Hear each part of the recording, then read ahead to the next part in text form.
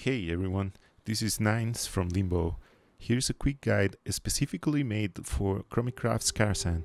This version is quite different from any other TBC guide as this one is based on the Wrath of the Lich King client, making the whole raid much simpler, meaning I won't go over mechanics that can easily be ignored in this server. The link for each fight is in the video description. Keep in mind, this was made during release week. Many of the fights explained in this video might already have been patched. I will update the description with any major changes. Bosses in Karazhan are considered raid level. If you're a tank or a damage dealer, you should consider reaching hit cap. This table here shows you how much hit rating you will need. Karazhan without the optional bosses can be cleared in around 60 minutes. The run will extend depending how many of these you do. You will need 2 healers and 1 or 2 tanks. For an unexperienced group, 2 tanks might make the run easier, but it's totally doable with only one. In fact, running with just one tank is gonna make the run faster. Once inside Karazhan, the first door on the right leads to the servants' quarters, where the animal bosses spawn. Most groups will skip these, as it adds around 10 minutes to the run, and all the drops are random stat epic items. Nevertheless, some feral tanks will want these for resistance gear. To spawn the bosses, clear trash until one of them spawns. They're supposed to make an emote when they appear, but that didn't work for us. Also, there's some trash called phase hounds, which will disappear when they get hit by magic, so only do melee damage on these. Also consider that the spider boss spawns while stealth, so you might have to run around the rooms to engage her in combat. Another optional boss that is rarely skipped is quite popular since it drops the schematic for engineering scope and a rare land mount. There's only two main mechanics to worry about in this fight. One is the charge, which is not currently scripted, and the other one is a curse called Intangible Presence, which reduces hit chance with spells and melee attacks by 50%. The boss itself is pretty simple. At 95%, Attumen and Midnight will separate, and the tank should be ready to grab them both. You can just focus on the horse. When it reaches 25%, it will be phase 3, which is gonna be an aggro reset, so have the tank be ready to grab the boss again. There's two ways to get to this boss. One is going upstairs from the stables, or the other one is going back to the entrance and upstairs. Spectral retainers mind control, so you might want to kill them first there's many patrols in this room which can make your pools bigger, but whatever you do, pull all the way to the back using line of sight with the columns, that way your damage dealers can AoE them down faster. Once in Moroes room, kill the skeletons as fast as possible so your tank doesn't get debuffed. Strategy Ads can be mostly ignored. You can AoE them down or focus fire some of them the Shadow Priest being the highest priority target because it casts mana burn, and then the two-hander users. Everything else can be ignored and will die to cleave or disappear when Moroes dies. There's two ways to do this fight, with an off tank or not.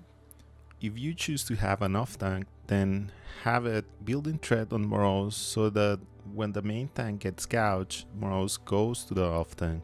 The other way to do this is just AoE everything down and then when the tank gets gouged, it will go to another DPS. If some of the ads are still up, they'll break the gouge from the tank and the DPS won't be tanking for too long.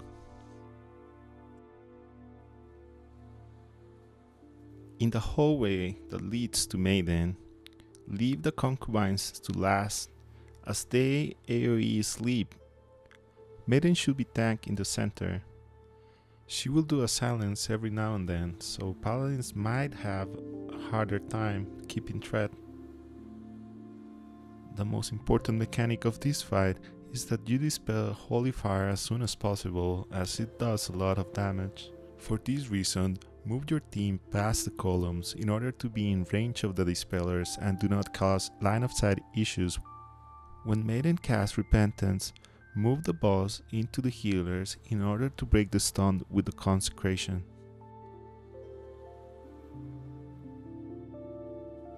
In order to get to the opera event, go back into the hall until you see the skeleton ushers, then turn right. You can skip the opera uh, audience if everybody hogs the right wall. All the trash in the backstage is gonna explode when they're about to die, so making huge pools might lead to deaths because of the AoE damage from the explosions. Also, they will cast columns of light that will give a damage buff to whoever is on it, so take them away from the light and get your damage dealers into it to get the benefit of the buff. Opera consists of one of three random events. One is Romeo and Juliet, another one is Red Riding Hood, and the last is Wizard of Oz.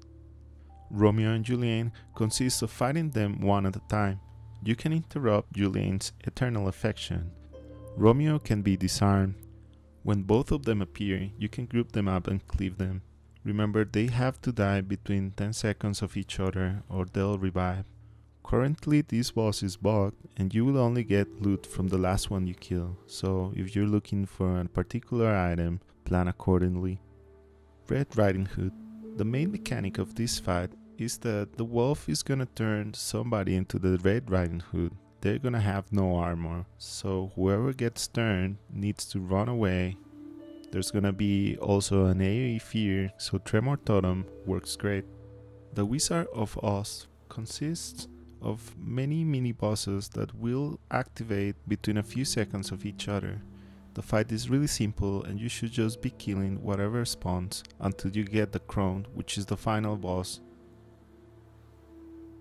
to get to Nightbane from the opera, follow the door that just opened, go up until you reach the back entrance. The way to Nightbane is through the door that is below the ramp that goes up. You start the encounter by using the urn on the balcony. For this fight, you should divide your team into three groups. One is the tank, the second is the melee, and the third is the range. The reason for this is a spell called Charred Earth that will appear on the feet of a random player. In order to remove the randomness of it in this fight, we have the casters grouped together and the melee grouped together and the tank on another position so that when a charred earth happens, casters or the melee can switch sides at the same as the tank which will just rotate the boss until he is tanking on the opposite wall. Because of the length of this fight, you can use your cooldowns at the start and they should be available by the end. Nightbane casts an AoE melee fear, so if you have a shaman, put a tremor totem on the group. The boss consists of getting it to 75%, 50%, and 25%. At all these ranges, Nightbane will start flying, some skeletons will come, AoE them. Be careful, because spells like Starfall or Magma Totems could aggro enemies below the floor, thus making the fight more difficult. If somebody is receiving damage and you don't know where it's coming, have them move around so that the enemies appear over the ground. Of course, these ads are not working as intended and should get fixed at some point. To get to Curator, go up the ramp from the back entrance. Notable trash is only the Arcane Watchman, the big robots that will give somebody an Arcane Explosion debuff, so whoever gets it needs to move away from the group. You only need to kill one robot in order to pass, you can skip the other one by hogging the wall.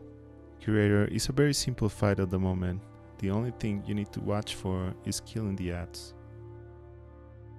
Mana feeders are immune to magical damage, so have physical damage dealers kill them as a priority. Arcane protectors can reflect damage based on their mode, S for spells, M for melee, and R for ranged weapons. If you're receiving a lot of damage, stop DPS as you're killing yourself. Finally, up the ramp on the circular room, mana warps will have to be stoned at around 10% health so that they don't cast Mana Breach, which is an AoE that deals a lot of damage.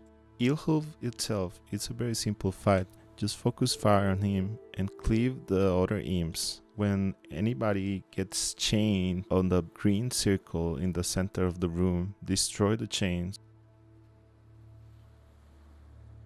The Shade of Aran was very broken at launch, so much that people have been exploiting it in order to not deal with any of the mechanics.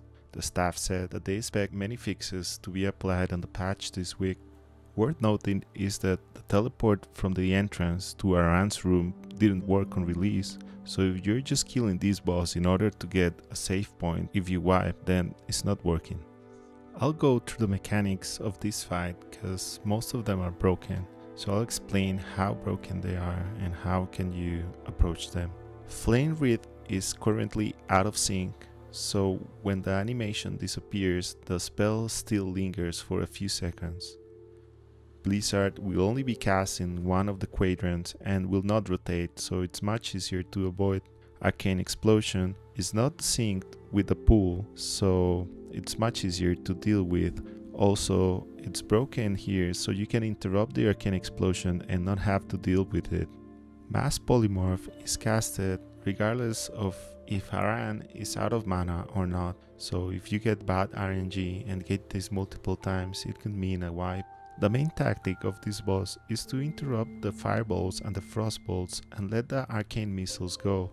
Remember not to move if you get Flame Wreath.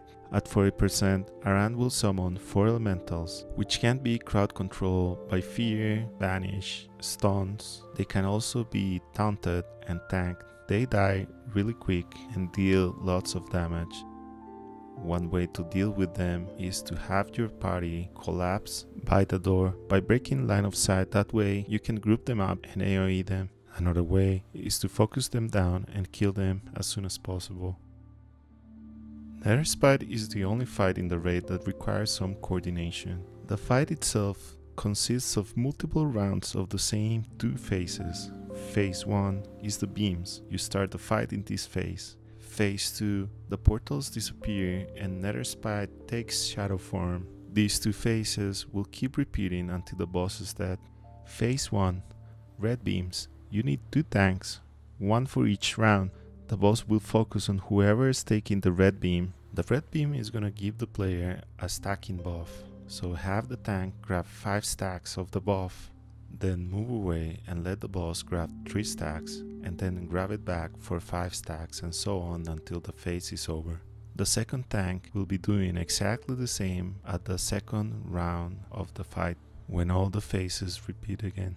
Another way to handle the red beams with only one tank is to have one tank on round 1 and 2 DPS on round 2.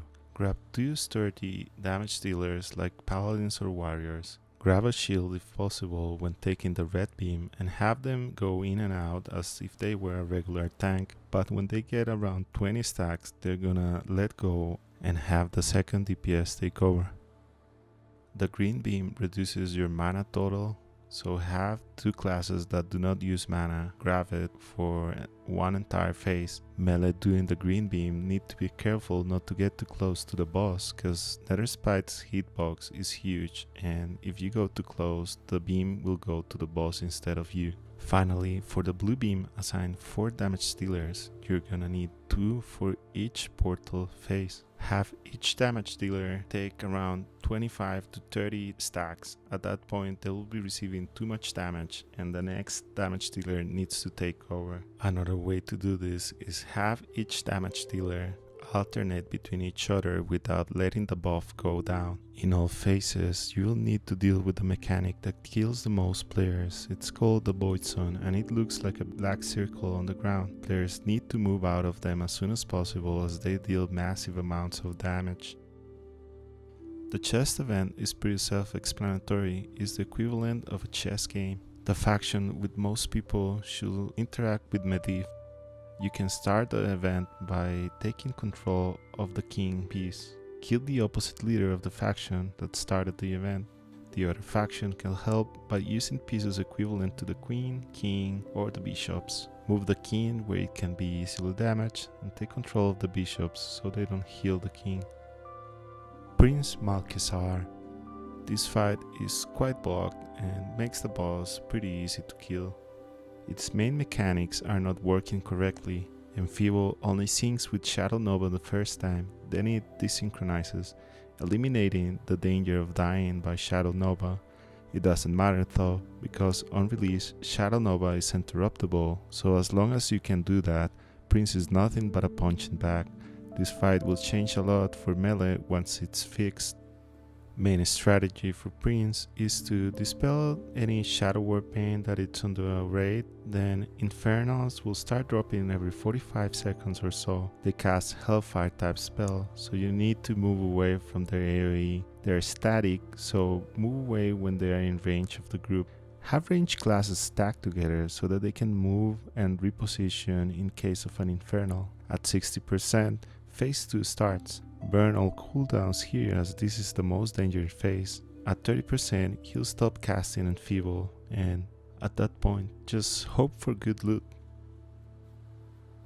That's it, I hope it helps. Remember to check out in the description for updated mechanics of the fights once they are patched. Good luck with the drops and have fun.